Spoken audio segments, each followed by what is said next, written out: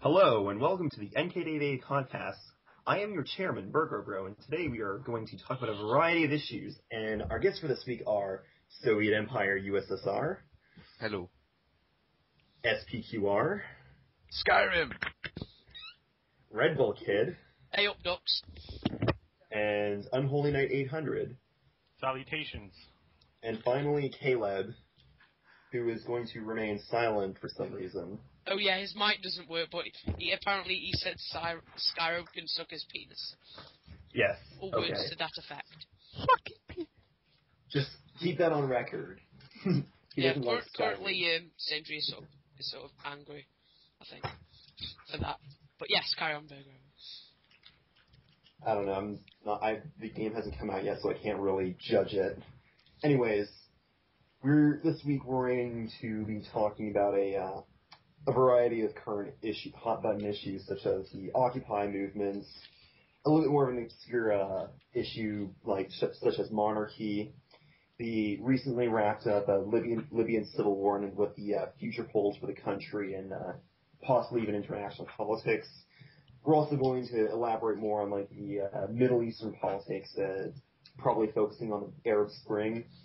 Um, Greece, Greece is also a huge issue, and a bit more of a lesser known topic is the possibility of an Iran war, which is apparently imminent. So, shall we begin? Yay, we can all die. Hold on, there's a car I can't hear. Carry on. okay, what, what, what, what is whoever's saying in the chat? I'm not I don't know, Uh, Caleb and Sindri are having an argument over Skyrim, so we'll just carry on. Okay, I'll pwn you. Will, uh, where the fuck do you live, bitch? Okay, um, as the chairman, I'm going to have to um encourage this fight to escalate, and I'm going to declare that this fight can only be solved in a gentleman's manner. Pistols at dawn. I know we have racist slangs. Too many. It's racist only it's only responsible. It's only it's only hey, I'm the chairman. I have to encourage the responsible thing, which would be the honorable thing. Pistols at sun, at dawn. Someone's gonna die. I I think it would be Sindri. I mean, if you look at Caleb's picture, he looks like he'd be a more honourable man.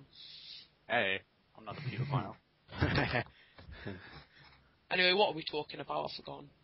Oh, um, our first topic for today, uh, before we stray too far off topic about dueling and all that good stuff, is the Occupy movement.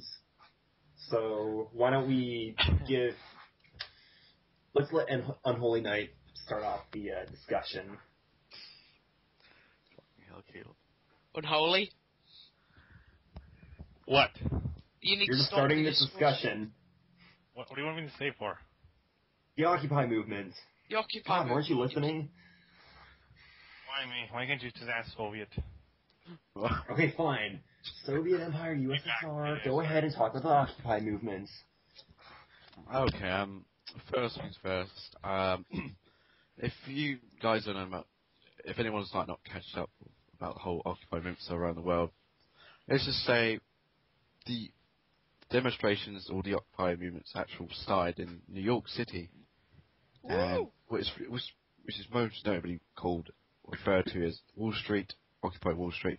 Basically, people, the 99%, if you want to call them that, uh, are protesting against corporate greed and all this fancy stuff, The 1%. and the 1%, which are the rich cats and capitalists, whatever. So, uh, basically, it's gone on for about a month or two now, I believe.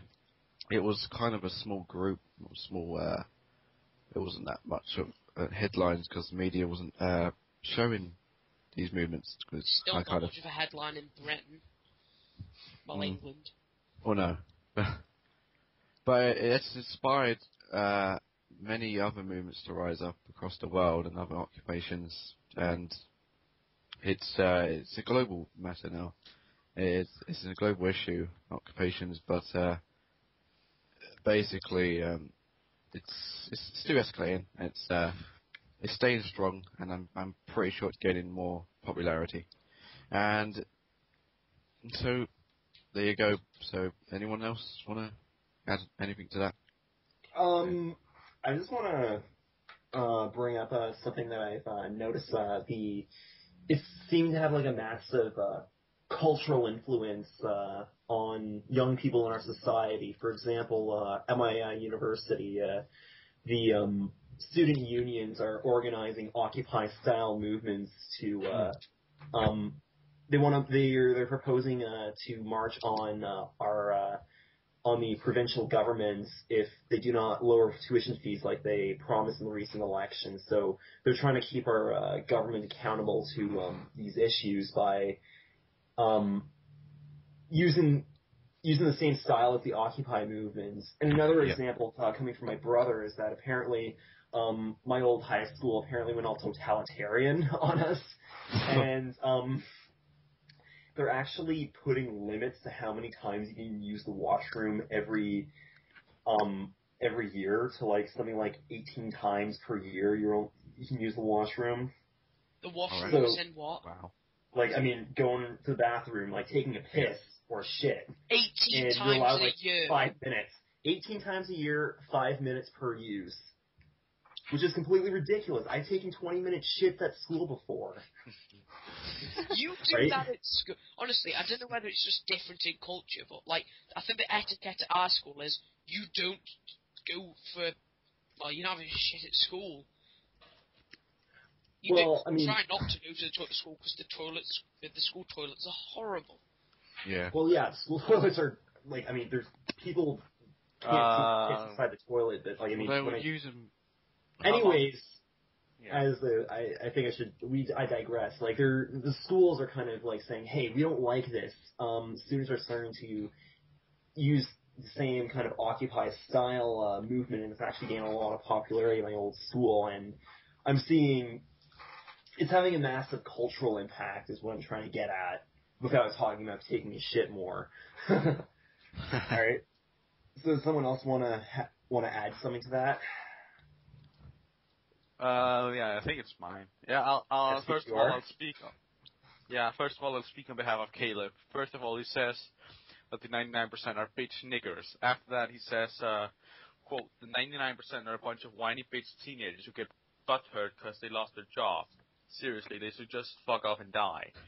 They deserve to Um, get beaten down by Yeah, burly Ca- Caleb is right wing here, I think. Yeah, I would like to. is- I would like to take a There we rebuttal go. of There is at a a- tyrannical attitude once again. Hang on, I'd like to um, provide a rebuttal to uh, Caleb in uh, saying I can't I can't find work. I mean, I'm I'm educated. I'm uh, well mannered. I'm have a good work ethic, and I'm having as much difficulty as the next guy or the guy with a uh, college degree or someone uh, someone in the factories. Like unemployment's on the rise right now because we're going into another global uh, kind of global economic downturn. So, I mean, I mean, what I mean, I don't 100% agree with. I mean, I acknowledge the cultural influence of the uh, Occupy movement. but I don't exactly. I'm, I'll, I'll get into my the uh, mo- uh, I'll talk about the mot- motives a little later because I don't 100% agree with it. But um, you know, what else are these people going to do? They're jobless. They've been jobless for like what? This recession's lasted since 2008.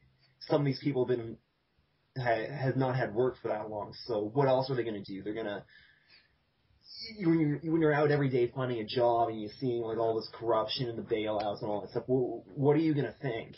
Yeah, Right. like, what are these bailouts about bailouts actually doing for the normal average person? Because really, we haven't really noticed any difference from when, like, um, just example here, when Northern Rock were going down, were going down. We had no difference then. I mean, we do. Well- our, our family are doing all right, but it's like, I mean, my, my parents work in a job centre, so I mean, it's Okay. pretty all right. For I'm just gonna I'm just gonna say like, what if we didn't bail out these companies? Like, we would have had an even bigger economic disaster.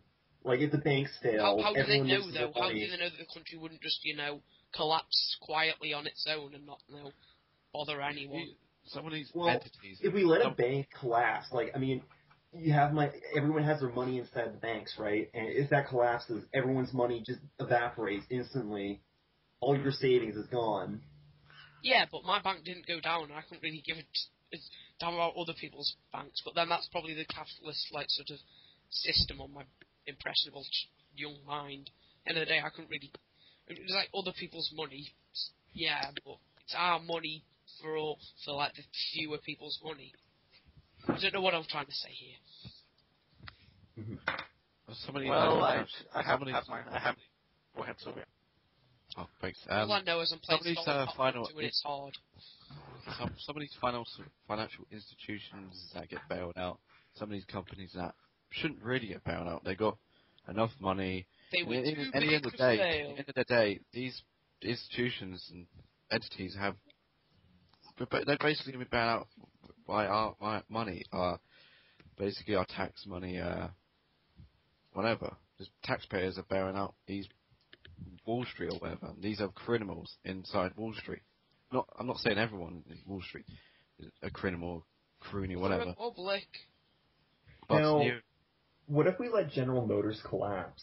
I mean, those are thousands of jobs in uh, my province in uh, Canada, Ontario would be lost. Lots of jobs in the United States would be lost. Lots mean, of jobs The, in Britain the, the company lost. I was mean, corrupt, we're but like now it's back on track. Thanks to just, bailouts. just right. uh, We we our unemployment is nearing that of Germany after the First World War, and we have a smaller population. I think. Oh no, we Yeah, might I have think- about an equal population, but ours is nearing that. I'm and our sorry for government's trying to take us more right wing. I mean, it shows you what really is happening. I'm sorry for intervening, but I think the the empl- unemployment for Germany in World War after World War One was about thirty percent. Yeah. But I it wasn't thirty percent. I, I Okay, thought uh, about people people in thought it was- Germany were lined up for. as- Uh, six. it was I mean, our economy is bad right now, but in Germany, uh, people were lined like after the after the First World War, people were lined up for. Uh, Well, the, yeah, but the thing Kilometer is, the between pursuit. our sort of systems and their systems, they didn't really have like um, like sort of um, like welfare. Didn't have a welfare state at the end of the day. I mean, we Hmm. do. well, they barely had a functioning uh, government. They were having they were dealing with uh, various uprisings from uh, both Spartacus left wing and and uh, Franco. extreme left, mind- extreme light right groups, and even keep Um, in mind it was hyperinflation. That they were dealing with basically yeah, but uh, well, but hyperinflation, yeah. my the economy is, uprising and that. They couldn't really invest in more welfare and uh, my point my point is, uh, Germany after World War One had a higher unemployment than Britain has now. Britain has under ten percent unemployment. Yeah. it's true. And that's not as bad as Germany. That's far from.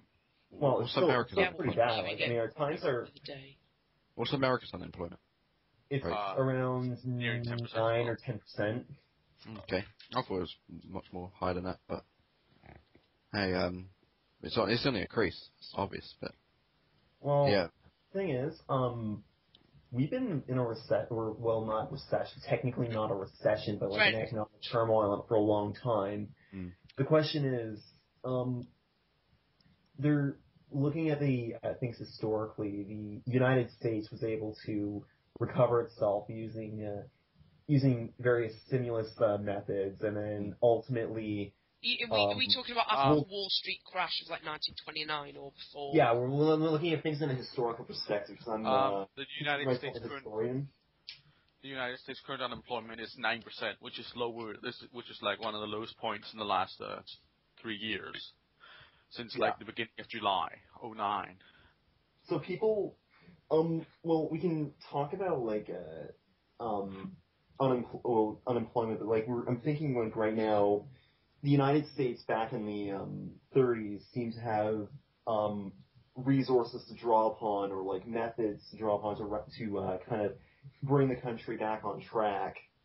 But then of course there was there was it was followed by a catastrophic war, which um, basically employed the entire country in military and industrial sectors, but I digress. But um, the the question is now like um, I'm looking at the United States and how they kind of have a very as having a very dysfunctional, disunified government. Like I mean, President Obama has has has his own in his uh in his uh, I guess advisors have it have their own strategy on bringing their country back on track. Yet the Republicans in really, extent, from the they're not sense- really trying to get it back on track. They're just trying to stop losing the money as quickly as they are. Well, no, they have like Obama has a jobs plan. It's, when you have like say a, when he's calling something a jobs plan, it means he wants to bring the country back on track in terms of employment. Once you get the employment back, you start, you can start making, you know, you, you can, it brings the economy back on track that people are buying stuff. The government gets more money because uh, they can tax everything people buy, obviously. So, um, the Republicans, for whatever reason, are blocking vital stimulus. Yeah. So it's kind of showing that the the United States, which I see, I, I, I see the as kind of one of the uh, two focal points for the economic t- turmoil. Um, it seems to have a crippling disability to rapidly um, to rapidly solve the unemployment issue or the global turmoil. Now, the second focal point is, is of course Europe, but we're going to talk about that once we talk about Greece. So, Yeah. Uh, Any, we anyone else want to add topic. that? I still, I still don't understand was- the Tea Party. So one of their policies is they don't want any taxes. Am I understanding this No right? taxation. My name Strutter. Oh God, please. Look at the chat. We'll see how many, many times we've digressed. Do, do they? Do, do, but really, is is that actually one of their policies, or is that just like nothing? One of their policies. Well, I don't think. I dis- I strongly disagree with the uh, Tea Party movements. Um, I do believe in a grasp, strong, Also strong I like. I like how the other side tried to come up with the coffee party, which I thought was quite funny. yeah, I was They- actually, I was actually actually did, thinking is- we should make a coffee party. No, no, no, they actually did though. That's that's the thing. They actually made like a rival party called the Coffee Party. well, I was actually kind of um, thinking about William Spencer's or Stalin's, as we kind of um, normally call him, thinking that as copycats. And I was thinking, you know, he's more of a left wing individual, and the uh, Tea Party is very right wing movement, and Yeah. their tea, Stalin's coffee, Very diverse. ass coffee party. So Well, according to Stalin's political compass, he was minus 10 uh, when it came to the left, so he's maximum left. So that Yeah. only makes sense. So what Yeah, about he's- Karl he's- Marx is it really? In it's no secret that he's a very left wing individual. Hmm. I'm myself a more of a I'm very I'm very close to the center but slightly to the left. Kind of like sort of British politics then. Yeah, Berggrove is a right-wing liberal. I'm not no, I'm more left wing. I believe in social programs. But Yes, I also liberals, it- liberals are on the right. You should listen to Europe. Yeah, You're they, always they right. really- No, but Yeah, yeah. no, but it's more like a Brit- British politics because at the end of the day, our centre is more to the left. It's like Germany's traditional centre was more to the right. Mm. Oh, well, anyway, we have probably digressed a lot. yeah, I mean so the- well I mean the occupation movement Yeah, I we- haven't had talking about this the yet. occupation movement. That like it was, I thought that was kind of an important topic to kind of act as you know, the economy is is very is very is I guess the driving force for this Occupy movement. So why don't we talk about something else about the Occupy movement? I Um. Oh, can I, I just had an before- ideas. Um, did you re- recently see any? Uh, I mean, like, how does the police, like the authority, there's a bit, a bit more. They seem to act Um, aggressively I'd like to- against these these I'd like to- protesters. I would okay. Let's let uh. So basically, this. I would like to state that I was in Rome about two days after they had their Occupy thing, and uh, it, it, it looked like a very dangerous place. I saw military police everywhere, and I saw big, generally police everywhere, military police about around every corner. And then when uh, Berlusconi was going somewhere where uh, there was like six military police, when the army was in the city, uh, it was generally a very, very uh, secure place. like more like a, Okay. a martial law. I would. I really need to. I, th- I really think I need to to point out that okay, yeah, militarized police they look scary on paper, but when you but look at what's happening in Syria, those guys, those guys are getting shot by the uh, army. They're being fired upon by tanks. You see that happening in the Yeah. West? No, No. It's, No. it's the thing that separates us, the fact that we are brutal in a light-handed way. I mean, we only throw flashbangs into crowds of unarmed civilians, whilst they shell them. It's like they're Yeah. different. we we might we might injure them over a time, like a period of time, but they will injure them straight away to a lot of force. Yeah, well, it depends on what Western nation you're on about. I mean, in Britain, you'll never see a tear gas fired behind police. Exactly. Police I are very lean- ours was lenient. well. Very lenient police here. Yeah, Not I mean, lenient, but I mean, we didn't overreact like the Americans. We no, let but it it. depends really, like, uh, I mean, like, if, oh, I and just freaking occupations here in um, London. I mean, the police even talk to protesters about what, why they're protesting Exactly. and uh, stuff like. But yeah, you, in America, in contrast, in America, the police are not even you know brutality really. The, the methods are brutality against the protesters, and I don't know. This is all in the order of um, the mayor of that state, but or that city, whatever.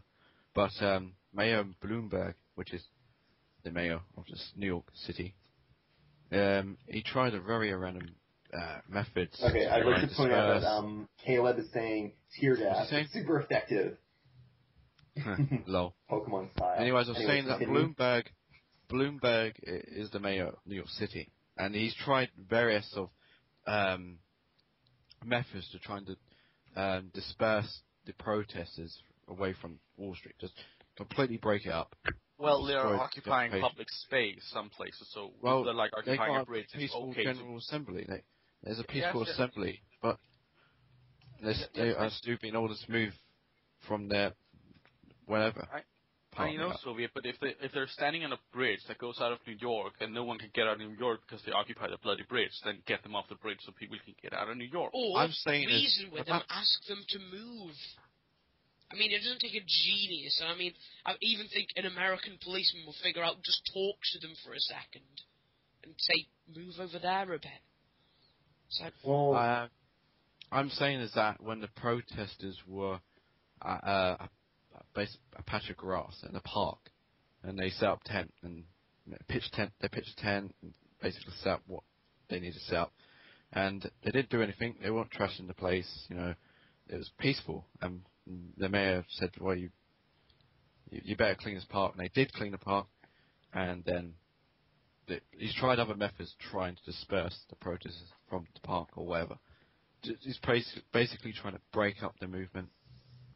And you know, yeah, He's well, gonna do all various those bankers pay for his salary, really. these these police, um, the, how I see the police in New York, they showed their true colours. They are working for the one percent. They are basically slaves to one percent. And I, I, I, from the tone I am speaking of, I'm on behalf of the protesters. I'm, I'm very, uh, I'm, you know, I, I advocate to their, you know, the movement. Really, I nearly went to uh, occupation of London, uh, but it, the police have showed their true colours in a way.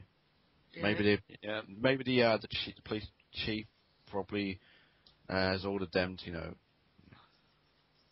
buy I think buy like 12 from protesters really. Well, I think there's like a I think there's a total of 12 occupiers in the entire Denmark, so we're pretty safe. that was uh, oh, well, uh, that wasn't going well for you then. Uh, but uh, you can gonna see that. Uh, Caleb's saying uh, they're just doing their job. They're being ordered around. They don't make the decision for themselves. Yeah, Yeah, but well, they that's also true. But at the end you know, of the day, at the end of the day, police are losing their jobs as well, and they got nothing. But basically, they're gonna have they're a part of the 99 percent, and uh, they're gonna have to look at two ways: they either do nothing or they go out on the streets and protest with you know amongst the other protesters. Yeah, then police lose. You know, people uh, are laid back, getting new jobs and that, and uh, you know, the police seem to not. They seem to. They're like the middle class. Like the middle class think they're like a rich or something. They want to go up there to the upper strata, you know, but they're not. They're getting.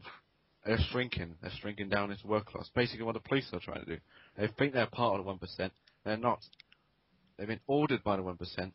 You know, go violently on the uh, protesters and that. At the end of the day, they're the 99%, and they'll be fucked over by whoever, really. Depends on the economic situation, but actually, I'd like to uh, kind of point out, uh, um, um, a little uh, statistic I saw in the newspaper and related to my the city I live in, Toronto. Um, they're showing kind of the wealth distribution of uh, how it's changed from um, 1970 to 2005, and then the projected wealth uh, in uh, 2030. Um, in 1970, it was about 66% were middle class, about 1% were were considered ultra rich, and every and it was kind of dispersed, and then like 1% was ultra poor, and, and the other two is just kind of whatever remains of the uh, 68 percent, or sorry, the if you hear any US noises population. on But hang on, hang on. fireworks. That, that's all. Actually, what they're showing is that the middle class is disappearing. Um, super rich are going to rise to 18%, but the um, super poor is going to rise to 30%. So we're actually they're going against. It, it, I think it should be not like the 99%. It just kind of should be the increased gap between the rich and the poor, right? Because it. Yeah, I mean it's kind of nice that we're seeing more rich people, but we're seeing far more poor people coming out of coming out of the middle class. The middle class is disappearing. Yeah, Yeah, it seems it seems like like what they're doing at the moment is we're squeezing the middle. We seem to be squeezing the middle, and most of it's flowing downwards. But then as well, what we really need to be doing is squashing classes by sort of um, making sure that the bottom aren't too low and the top are top are about normal to sort of more middle.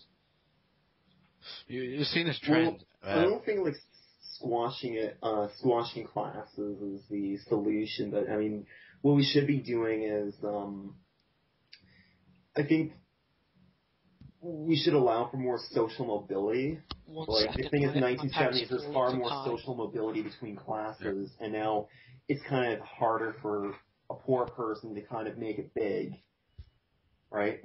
Yeah.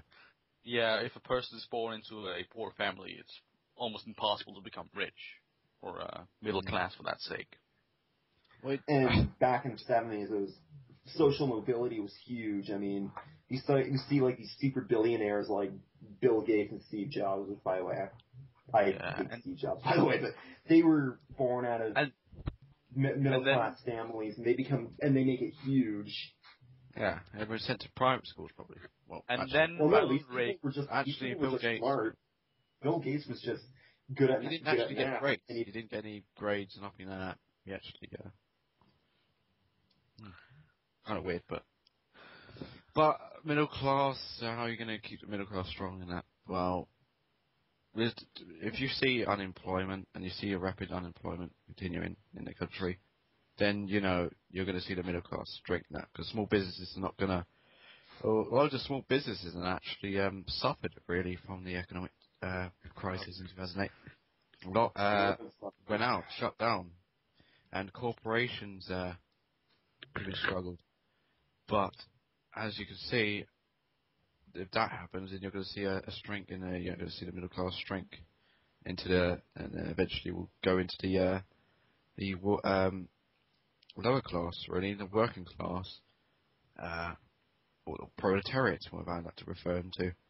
It's bec- if you can see this as a trend that is happening, where there's these two, uh, the basically middle class has been destroyed, and it will become a society based on only two classes, and this will be the bourgeoisie and the proletariat. This is what Karl Marx pointed out. And this is these are the only true classes that are fighting each other out in society. Middle class will not survive for much longer. They will either go up, some upper middle class will probably rise up to, you know, upper class, or, or you know, the rest of the middle class probably shrink down into the, uh, you know, the, the lower class, the working class. So, Hmm. Now, I think we should move on from this topic, but uh, there's something I want So, to. One thing I want to ask the Occupy movement. uh, Um, there's something I want to ask the Occupy movement. We know what you don't want. You don't. You don't want corruption in the system. You want better accountability for, um, for big businesses and even governments. Um, but what's your alternative? We know what you're against, but how? What are you going to? What's your action plan to solve these problems? Because that's the one problem I see. With, that's my biggest. There's not, um, the argument. I don't see. I don't see a solution. they want more basically. Well, I have to point out to them is uh, I, I can see there where they're going and there's massive corruption in the country, in the government, and there's more criminality as well. There's, I mean, these people that are, these uh, one percenters are actually should be in prison for what they've done. Um, and also, I wasn't gonna. What's their goals? I mean, maybe they want to see more. They want to be. They want to be answered. They ninety nine percent have a voice, and they they deserve to be answered to. Basically, the government's trying to get the government's uh, you know attention, and just instead actually work for the people. You, you're the servant of the people, not these one percent, you know, douchebags. Um, the corporations. It's not always about profit. Basically, uh, you know, actually care about more people. There's a, a, a democratic tone in society. It was not really, well, America's not really a democracy, in a way I should say. Um, hold on. They aren't accomplishing anything. They are whining. This, this is what Caleb said. Uh, no, that's what.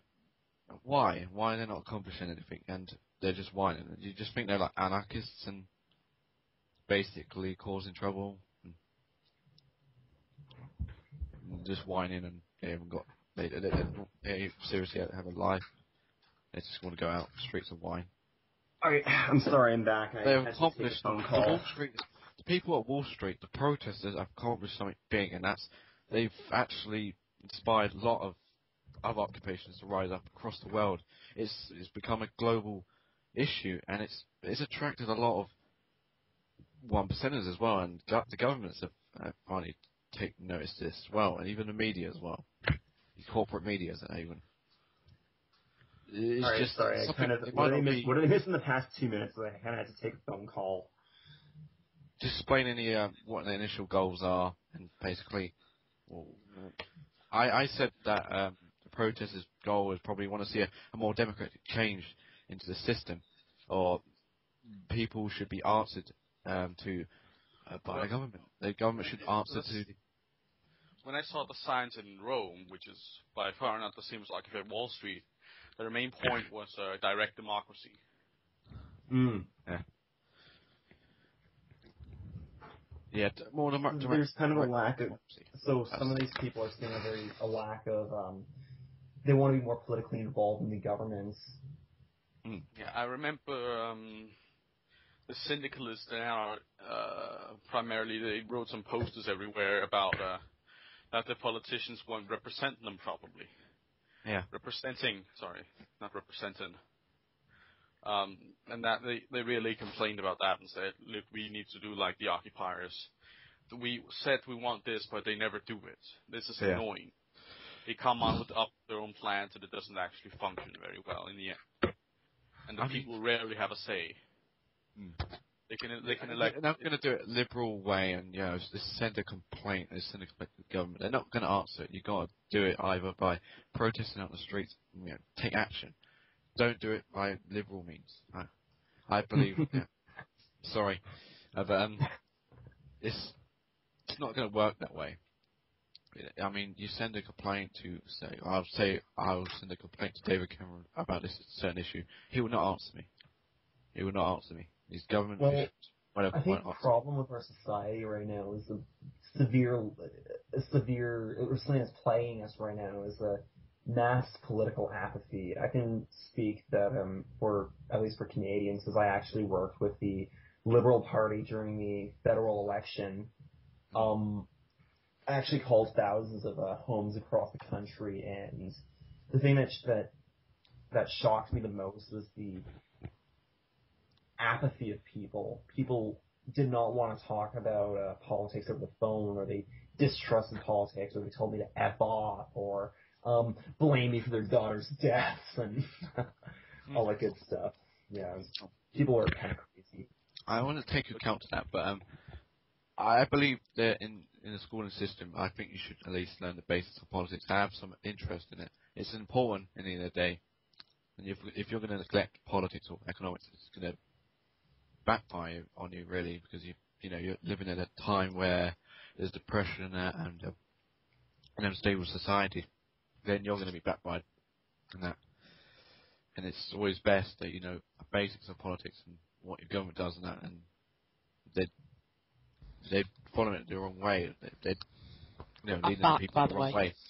Right. Well, I think Then you might- is It's best that um, you should get involved. Soviet. Yeah? Have you ever you ever, you ever heard of the program on BBC Three called Young, Dumb, and Living Off Mum? Mm, Never heard of it.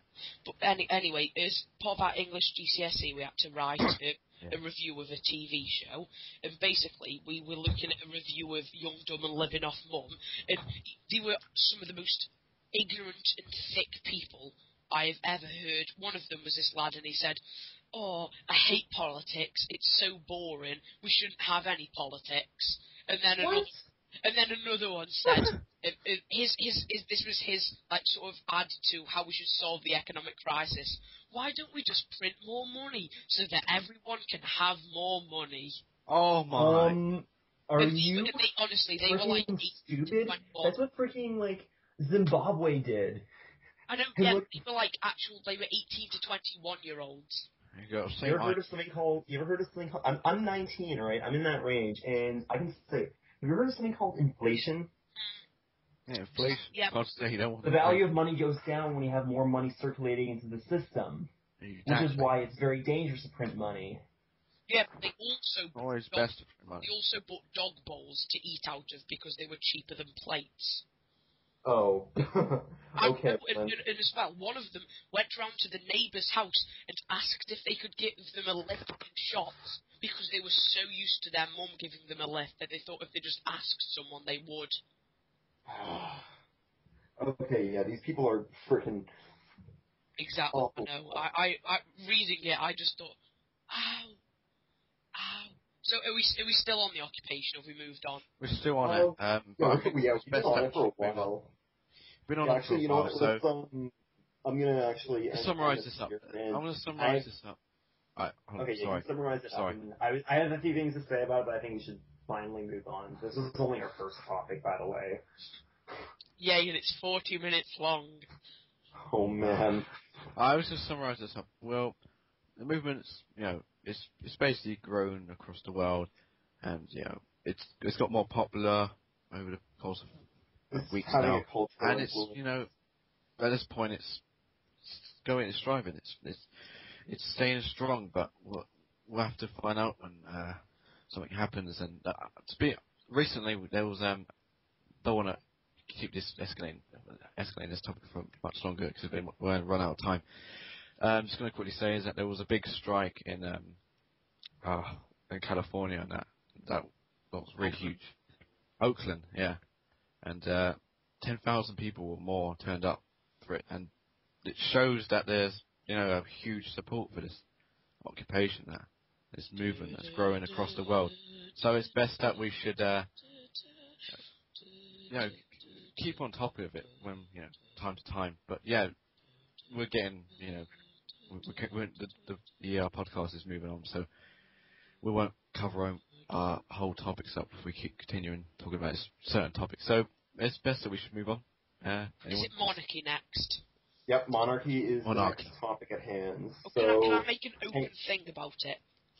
uh, go ahead. I would like to say um, Well, my main thing is, no, no, but you let's let- let's like um um Red Bull. Is Yes. that your name? Yeah, Red Bull. I, I your Skype name is Gabriel, but I know, Red. Bull. Let's let you open up the make an opening statement on monarchy. basically what I'm, I'm saying is, it's printed a lot in um, this tabloid newspaper in England called the Daily Mail, and basically they always go on about immigration and all this, and it's extremely annoying. And they say like, "Oh, we spend millions every year on these asylum seekers coming over here and working," and basically, oh, I could say how much wrong that is, but first, we spend. Each um, tax-paying person spends only one pound twenty-four a year paying for asylum seekers for one, and anyway, and anyway, if they pay one pound twenty-four, and that's helping thousands of families. We pay sixty pence a year to pay for the royal family. In, Hmm. in England, we pay we pay half of that to one, uh, less than half of that to one family, t- compared to thousands. Yeah. So they can sit in their golden castle and think they are so much better than us. That, that's my Yes. opening statement. Ridiculous. Alright, well, I guess from an. I'm going to say something a little controversial right now. I'm kind of a monarchist. No. Okay, I'm I well, I'm a Canadian monarchist. People apparently hate me for this, but okay, well, I just like the uh, cultural aspect of it, and that's about where it ends. It is, yeah, it is good, but it's the fact we're It's a- for them, and the, mean, well, um, it's ridiculous that you have to pay like um, sixty pence is like that's like sixty cents, right? Basically. um, sixty pence. I'll, I'll, I'll, you carry on, but I'll, I'll find out the conversion rate. Well, well, p- a pence. Well, like let's just. It's a pen. Uh, a pence is like your equivalent of a cent, basically. Well, Um, not it- it exactly. Depends what what currency we're converting from British to American. Well, I mean, it. I mean, a pound. One pence is like um, or one pound It's is nine. pence, basically. a, a Canadian dollar. It's basically a Canadian dollar. Okay, well, yeah. I mean, I think it's a little ridiculous that um, taxpayers' money is actually Or, only or, double yeah, the taxpayers' money is going towards immigration. I think it should be great. Uh, well, I don't think Canadians are paying for, uh, for the British royal family, despite the fact that we, um, that your monarch is our monarch as well. But I think it's ridiculous that yeah, that, I mean, you can spend easily spend that money on other things. Yeah. Yes. I mean, Caleb, yeah, Caleb's saying a whole 60p. But at the end of the day, if you group that all together, it's a lot of money. And that amount of money could, you know, open a new hospital. And anyway, the Prince of Wales, like Prince Charles, he probably sells extortionate prices for his biscuits and everything with his organic stuff. He, he, they can make a oblivion off that sort of thing. Hmm. Well, and I mean, he does let's look at- divide our money in tourism, but it's, it's still a lot of money we're paying. They should really pay for themselves. Majority of our wealth can fix everything we've, we've currently got in our country now. And what do they actually do with their wealth? You know, there's a lot of, you know, knows what they actually do with their wealth. And all that new 60p's, combine that with everyone else's. What, where's that Well, okay, money Caleb, going to? Like, it's going towards the monarchy, but what are they doing it for? I would like to what say, is money uh, going towards? Uh, Caleb's Sorry. bringing up the fact that the monarchs bring in tourists. This is an They're act. bringing tourism because, you know, And mainly Let's- using let's- that let's- money to cover up Let me state- had to do was friends with a rapist. Let me state that the British castles, uh, sorry, the French castles still get more visits than British castles, despite the fact that they executed their monarchs. Versailles gets more view. Uh, Versailles. Versailles gets 2.5 million visitors a year. Uh, the Tower of London gets 2.3. Yeah, but 2.3, Tower of London isn't the main attraction for one. And anyway, it's a museum, the Tower of London is. yeah, Yeah, but that disproves the fact that monarchs actually bring in tourists. they bring in, in fact. They bring in, yeah, for their but- fa- they're for their foundations and all that, but also for the fact that if anyone's like really fucking lo- loves the monarchy so much, they'll Probably also think- the uh, that's when that's a good well, I point don't love the the to be monarchy. I a just like the cultural aspect of it. yeah. And I don't. Well, I mean, I'm talking from a Overall, Canadian I'm perspective. anti. I don't like see. I don't see any harm in keeping it. oh, right. no, I don't. Yeah, as long as we're not paying for it. But, but You know, what yeah, we're not paying for it. Russia is up there with one percent. So I'm, I'm, I'm very anti I mean, monarchy. The royal, the royalty gets uh, in the British, in the Britain's case, since it's probably most fitting in here. Uh, the royalty still owns the duchies of Cornwall and duchess of Lancaster. They get all the money from those lands. That's like a hundred billion pounds a year. Mm. Not that much. And and if they if, if they die, they don't pay any taxes, or they're basically exempt if uh, if their lands go on to another person, to the next uh, generation, they don't pay for it. It's absolutely free. They, could- if the monarchs had taxes for that, uh, you would also uh, give money for that, and you still service the debt that they, you have to pay, which is uh, another two billion, or sorry, two million uh, pounds a year. But one of the worst thing is, like, let's just just see how, how you find this, right? So, Soviet and Bergro, Bro, and Caleb and me, this this probably relates more to us. um, how would you like to think that the fact that basically um, there was a meeting um, for the Commonwealth, so all the Commonwealth nations together, during this time of economic crisis, they decided to meet together and come up with an amazing new sort of constitution. And you know what this constitution was? The fact that women could now become queen if they are the oldest heir. Yeah. Wow.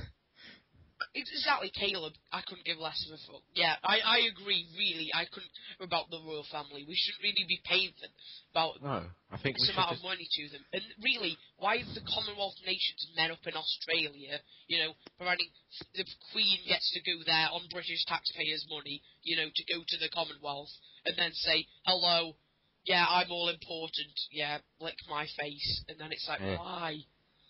Uh, it, was, it really annoyed me the fact that all our tax money went towards the uh, royal wedding, and they had that wealth, they had that money to, you know, Yeah, which fork they out stole their own from, stuff. uh, That is when the Pope came And to we wasn't Birmingham, we had to invited. pay for that. Keep in mind, we weren't invited to their wedding.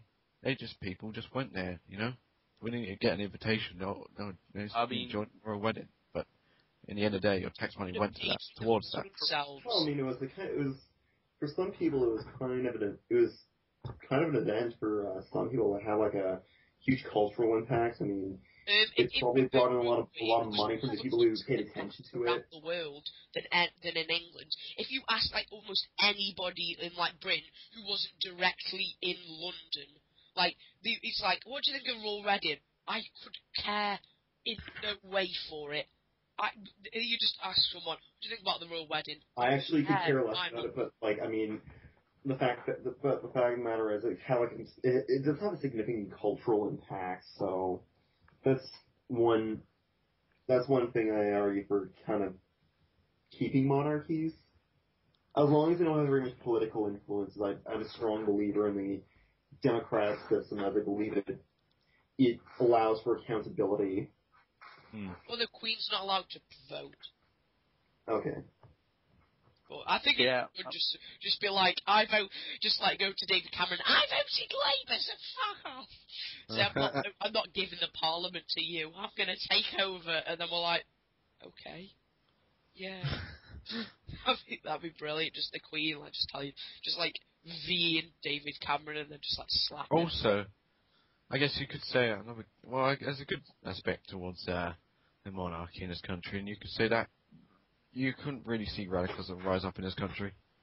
I mean, if you have uh, another, you've got the Parliament and you've got House of Lords, and you're not going to see any radicalism rise up in time soon in this country because of the uh, the amount of power the constitutional monarchy has in the current government. It's really it's just beyond. It would be stupid to see it think or even come up Well, with this assumption that the radicalism will rise up in Britain. Um, passing laws would be. Well, in the end of the day, everything, the last decision is you know, all decided from monarchy, whether it be various laws and stuff like that. So, well, the- if if I may, but again. I can't. Sorry, uh, let me just continue that. But again, I can't really say that because in Itali- in fascist Italy, there was still a monarchy, and Benito Mussolini wasn't really head of state, but he's, you know, yeah, he managed to still get the power. So I Whatever guess happened you to the know, Italian monarch. huh? Whatever happened to the Italian monarchy? uh, he got It's he still got thrown out. He got thrown out as soon as the uh, Italians became it- it's independent still- again. They said we want a mon- we don't want a monarch. Go out. Oh, I thought uh, Berlusconi was prime minister, so therefore it should be. No, he's the president. How come Oh, he's okay, in sorry. power anyway so long? Uh, oh, oh, oh, this is something. Oh, this is something I'm good at. Um, basically, the Italians have a system that says you don't need more than two. You need don't need more than two percent of the votes to become a party. While in Britain, you have to get more than two percent of the votes to go in parliament. That's not the case in Italy.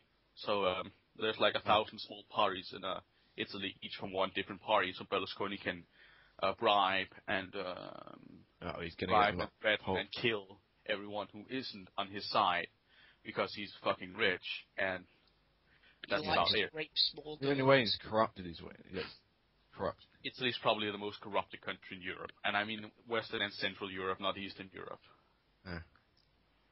So Oh yeah, you're going to be Anyway, funding um, the campaign. Yeah. Should we do a closing statement for this then? yeah. No, um, my big, my biggest problem with the monarchy, monarchy is it, it's basically a, you basically tell the UN we are in, in this country not everyone's equal. Some people are born superior to others. Yeah, Yeah, that is. But at the end of the day, as if you think about it hard, yeah, go into depth a bit, and you'll I mean, think everyone has about the right the to vote. monarchy. You would say that we are kind of slaves to this monarchy in some Well, way. like, my point is basically everyone has the right to vote except the queen. Mm. That's not And, equality. oh, and prisoners. Yeah, but prisoners We're kind of like citizens entrapped, country. Like in within Even our though some island. people say pris- prisoners should vote. No.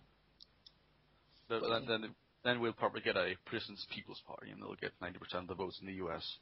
Yeah. Anyway, should we do a closing statement, someone? Yeah, Well, uh, Yeah, I'd like to they- say for the monarchy is I would like to see them disband. Uh, I don't I'm know the only if that kind of- if something like this will happen in any time soon. That would I like to see the monarchy disband, completely gone, non-existent. we're nearing the gone and uh, outside, and there should be more democratic. we're nearing the 50 minutes mark. Just so you know, should we end it at one hour or? Up to you. well, we got like four more topics to talk exactly. about. So should we break it down and just add like one more topic to discuss? Or? Yeah, just one more topic. Everyone vote either Libya, the Middle East, Greece, or Iran. Iran. I Let's talk about Iran. Libya. Yeah, let's talk about Iran. Iran. Okay. All right then. Uh, why not? Who wants to have an opening statement? I watched an interview on Ahmed Ahmadinejad recently. I'd I'm like just to gonna say say- that in that case. Wait, wait, I just want to say that um, this is uh, from a uh, reporter who calls uh, Fareed Cardiff. He has a show on CNN called uh, GPS, right? Or the Global Public Square. Um, he did like a one-hour interview with uh, Ahmed Ahmadinejad and um, the president of Iran, and he was just like, um, let's put it this way: when he mentioned Israel, he had a severe twitch, not only just like a little twitch, just like he he started like twitching and started talking about how we should uh, drive the um the uh, Zionist Jews back into the sea or something like that. yeah, I I remember he stated that the, the Holocaust never happened, according to him, which is pretty fucking awesome. That's I think that's the first world leader in the world who states that. Well, you wouldn't call him a world leader. You'd be call him a crazed tyrant of like a country that doesn't understand the world. He's not even the leader of Iran. Like he, well, he, he's the He's president of Iran, but like he, he doesn't have that much control. The um people people don't realize that they have like a supreme cleric or something that uh rules the country, but he's kind of just like the bigger or like the fool that everyone can laugh and point at. yeah. But meanwhile, behind behind that fool and this uh, extre- and this uh, cleric, something dangerous is happening. There's the uh, possibility of a nuclear arms Iran, with, who has who obviously has a radical regime. Mm-hmm. I still don't get. But I, I, I don't. For my views on him, he's no threat. And why is he the big threat? I mean, we've He's still got he's um he's, He's uh, got enough- almost got enough he's uranium actually- to build a nuclear bomb. he's got enough uranium. In fact, he's Almost. Got, or He's he's got, more got, than that. um, He's got, he's got enough uranium to even build four nuclear weapons. But I'm saying is, you've got someone in North Korea, and that he's more of a tyrant, more of a, Exactly. a crazy ass dictator, or whatever, and that's Kim Well, Jong Il. And he has I'm nuclear sorry. weapons, and he hasn't fired nuclear weapons. Well, he's I'm more sorry. crazy. I'm sorry to be a little more crazy than Kim Jong Il, but Kim, Kim Jong Il at least has, you know, a bit of sense. He, I, doubt, I doubt Kim Jong Il would destroy the entire world. Kim Jong Il. Nah, but- Uh, radical. Okay, you know what? North Korea is a very unstable place, Yeah, right? but I'm- yeah, But I doubt he'd He- fire nu- and and oh, and on another point, I doubt he has enough nuclear weapons to uh, destroy the world seven times. yeah, but Iran doesn't have that question- capability as well. I'd be destroyed though. The Soviet. Iran doesn't have that capability. um, has Uh, enough uranium, almost has enough uranium to build one nuclear bomb, which is kind of, or, They or, got- or enriched more than that. uranium. They could, they could, they could, they could build more than that. I've read an article that said they had enough uranium to build four nuclear weapons. But This was just on Fareed Zakaria, so Fareed Oh. Zakaria says they have seventy something. also, uh, you know, Kim Jong Il is at least willing to talk. I know. He, I remember he was talking with Dmitry Medvedev about disarming his nuclear weapons, and he actually uh, went on with it and disarmed like two or three nuclear weapons. I doubt Iran would do that. I mean, look- And again, Kim Yeah, I don't Il's see. head of I don't think it's fair that if you say, "Hey, North Korea, you can't have any nuclear weapons. Give them to us, America, and you know all the Yeah, other it's a bit nations that hypocritical. are enom- economically downturned, who are more likely to, well, just as likely to attack someone." It's very Yeah, um, the thing is, America doesn't have a radicalized regime. North Yeah, Korea does. You have Republicans. The one You have neocons for crying out loud. becoming a radicalized regime. Yeah, you have neocons and you have a control of loy- lobbyists can actually come on in things in White House. I mean, even they take some of the presidents that takes decisions from lobbyists, and they're crazy ass neocons. Why is Israel where it is? Why don't they put them, you know, like if when Britain had a truce, where why did they think, okay, what we're gonna do? This is is part of the Holy peace- Land, I'm guessing. Yeah, th- we're gonna Um, peace it's where the the, um, uh, completely by all of its enemies, you know, rather than putting it in Wales. That would be way better. All we have to do is well, the thing is, um, religion, Zionism. it was put there because it was historically that's where Israel was. Yeah, Right. So we could just say, Zionist yeah, we don't want you to be there. We want you to be where we keep an eye on you and make sure you don't get killed. Wales. That's I think just I'm- given them Wales. They would have been happy. They could have made I'm- it nice. I think I'm one of the few persons in the world who will state that Israel has no clear legitimate claim to Israel. It's like saying that Iceland has a claim to Norway and therefore we should go conquer Norway. It doesn't quite make Um, sense. if this was 19, if this was 1948, I would agree with you just because of the massive um, displacement of the Palestinians that's causing. But now this is 2011; they've been there for a long time, so therefore they do deserve to. Um, they they they have uh, legitimate claims to that territory. But you know what? We're not here to talk about Israel.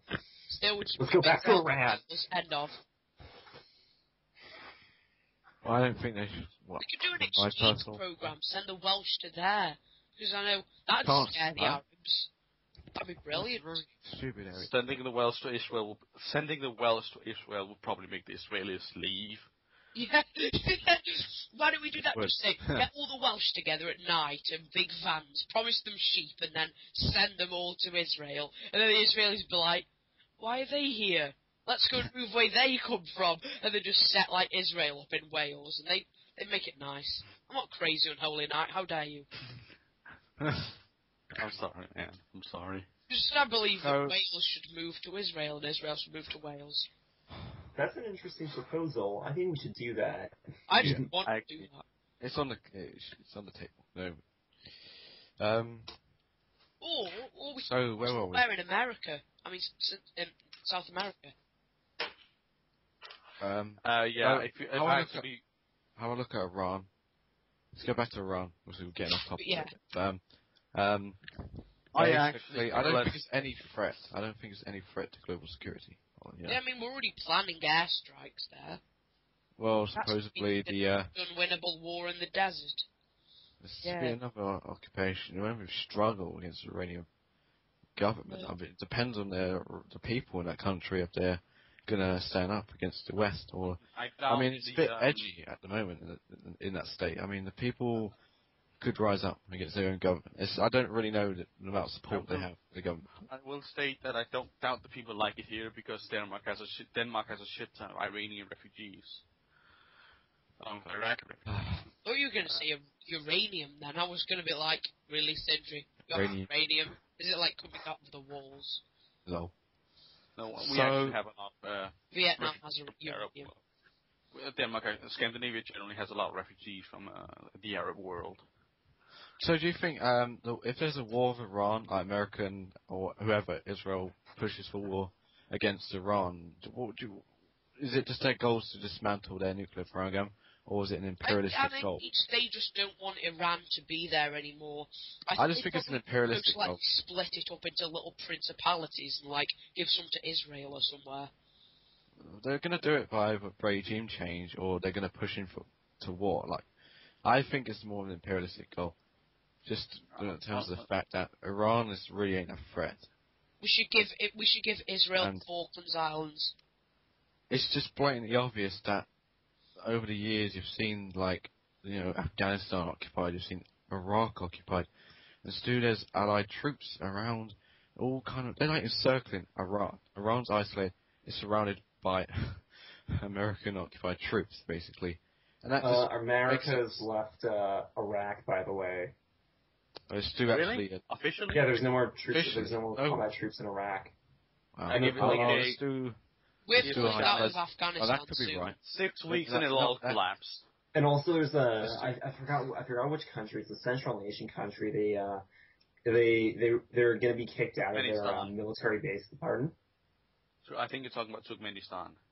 Yeah, something. One of the uh, countries that are uh, kicking the uh, U.S. base out of that uh, country and replacing it with a Russian base. Oh wow. Well done That's for good. them. I mean, I mean, Britain doesn't have the balls to do that yet.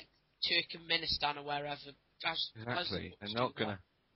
Well, the thing is, um, We don't apparently the uh, apparently the uh, pre- the uh, president of the country is actually in favor of a uh, a proposed Eurasian federation led by Moscow. Yeah, that- what Vladimir Putin's what? Oh, I know. Oh, no, Vladimir Putin. If it was up to Vladimir Putin, he will go and kill the U.S. Army with a crossbow. Because he's that fucking badass. no, he's, Vladimir yeah, Putin's no, no. who's What he, he no, he'd dictator. after them with a pink, with, in wearing a pink tight shirt and a dildo because he's so gay. Have you seen him with So- all his pictures? He looks like a looks like an extra off of Brokeback Mountain. He looks like probably the person they use for the sex scenes or something. He looks so gay, it's unreal. Um, so what this proposal that uh, Putin came up with was uh, to Look- unite basically Eurasia, make it Uh, let's get back federation. towards uh, Iran. We can talk about it next time. Yeah, Right, I, I, we're getting I off gotta- topic. That picture is actually Putin hunting a whale. I shit you not. Um, he hunt, he's hunting whales. I think he's just gay, Yes. to be honest. But oh, um, Iran, I, I, not, actually, I'm Iran's no I gotta threat. go now. Alright. Uh, I'm gonna have to write an essay about why we should kill the monarch, so I'll be. Well, I also have to write a fishing essay. Oh, and there's so Soviet just left, so I think it's actually over. Or Alright. and come back. He might have just. Nah, let's just end it now. and- Oh, Soviet's here now. Hmm? What? Oh. Nah, I think it's, it's just time to say goodbye. Also, Unholy Knight hasn't been speaking lately because he's speak, uh, eating some kind of German food, krauts or something. Oh, Sausage. sauerkraut. It's like Uh, what? What? Alright, let's just end this. Until yes. Anyway, yeah. Um, so Bur Gro Bro, you as chairman, you have to close the podcast. Holy flipping hell. Okay. Um, I would like to thank you all for joining us in the first NKVD podcast. Um, have a good night and die. With a cat in your arms and a cheeky s- smile grin. What a will- troll face. oh, actually, actually, wait, hang on. Join me, Link, and I will make our face the greatest in Korodai, or else you will die. Or, Oh, oh, yeah. stop. That's my closing statement. Okay. My, my closing statement will probably be faggotry for the faggot god. Israel I needs to should be all moved to die. Wales.